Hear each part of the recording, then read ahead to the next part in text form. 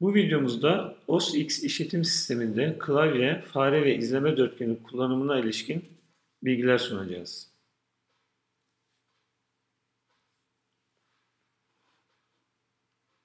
Masa üstündeyken sol üst köşedeki elma resmine tıklayarak Sistem tercihleri penceresini açıyoruz. Burada klavye seçeneğine tıklıyoruz. Karşımıza çıkan pencereden klavye ile ilgili yapılabilecek tüm ayarlamaları yapmamız mümkün. Örneğin tuş yinelenmesi, yineleme öncesi gecikme, metin kısmında örneğin metin kısaltmalarını kullanabilirsiniz. Kesimeler kısmında kısa yol tuşlarını düzenleyebilirsiniz. Giriş kaynakları kısmında ise alternatif klavye dili ekleyebilirsiniz. Örneğin bir tane ekleyelim beraber. İngilizce olsun. İngilizce klavye seçeneğinde değişik alternatifler var.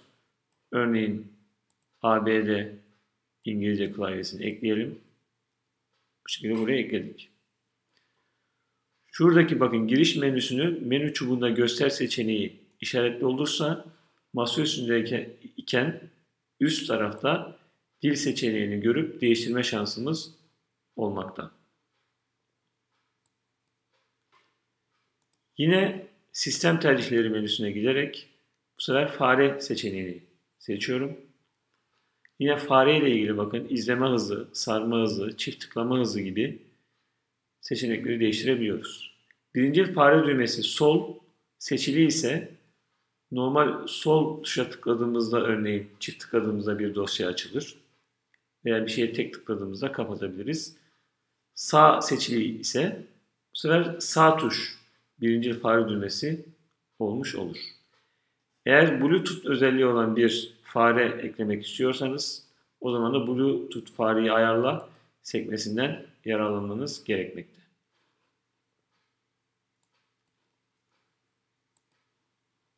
Eğer harici bir fare değil de bir iMac veya MacBook kullanırken izleme dörtgeni kullanıyorsanız ki bu dizüstü bilgisayarlardaki touchpad olayının karşılığıdır. Bu yapının özelliklerini de buradan değiştirebilirsiniz. İzleme dörtgeni touchpad dediğimiz şuradaki yapı ancak Mac bilgisayarlarda, MacBook'larda bazı özel ekstradan fonksiyonlara sahip. Biraz bunlara değinelim. Şurada gördüğünüz gibi tıklamak için vurma seçeneği işaretli değilse siz bu touchpad'de bir şeye tıklamak istiyorsanız elinizle bastırmanız gerekir. Ama bu seçeneği işaretli hale getirirseniz parmağınızı dokundurmanız onun aktif hale gelmesi için yeterli olacaktır. İkinci tıklama dediğimiz olayda ise iki parmağınızla bu touchpad'e tıkladığınız zaman ne olmasını istediğini buradan tercih edebiliyorsunuz. Bakın iki parmağınıza tıklayın veya hafifte dokunun. Buna tıkladığınız zaman normal ekstra kullandığınız mouse'daki sağ klik meydana gelmiş olur. Bu özelliği sağ alt köşeye tıklayarak da yapabilirsiniz. Sol alt köşeye tıklayarak da yapabilirsiniz. Tercih size kalmış. Üç parmağınızla dokunarak dokunduğunuz metnin internet üzerinde aranarak o metinle ilgili değişik bilgilerin verilmesini sağlayabilirsiniz. Ekranda da görüyoruz.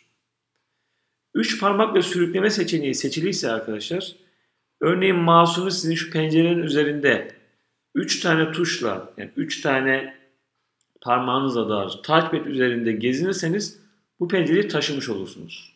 Şuradaki örnekte de gözüktüğü gibi.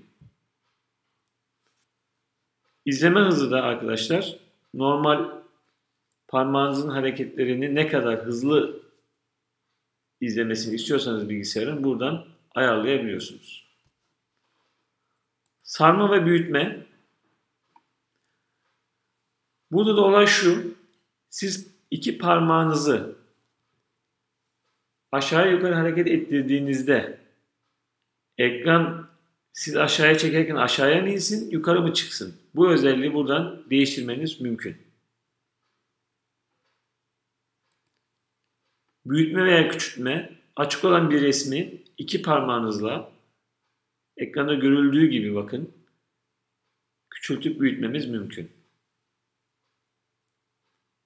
Akıllı büyütme olayında ise iki parmağınızla çift tıklatarak optimum bir büyüklüğe getirebilirsiniz görüntüyü. Döndürmede ise ekranda görüldüğü gibi açık olan bir resmi iki parmağınızla istediğiniz açıda döndürebilirsiniz. Daha fazla hareket kısmında ise yine touchpad ile ilgili işte iki parmak, üç parmak, dört parmak kullanarak ne tarz fonksiyonları kullanabileceğinizi buradan gözlemleyip uygulayabilirsiniz. Normal MacBook bilgisayarlarda touchpad bilgisayar üzerinde geldiği için masaüstü özelliğine sahip olan iMac ve diğer Mac bilgisayarlarda touchpad'i Bluetooth ile kullanabilirsiniz. Yani ekstra bir yapı olarak bilgisayara tanıtıp kullanmak mümkün.